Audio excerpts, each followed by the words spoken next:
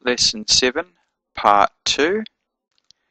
In Part 1 we had a look at the Qal perfect or future tense and we saw how it was used with the VAV consecutive or VAV relative, how it changed time.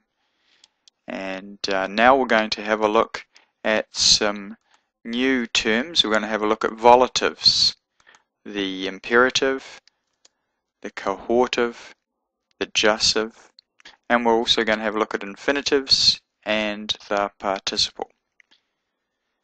And the suggested exercises are in Biblical Hebrew and Introductory Grammar by Page H. Kelley, Lesson 15, Lesson 16, just the Vav consecutive lessons, and Lesson 19.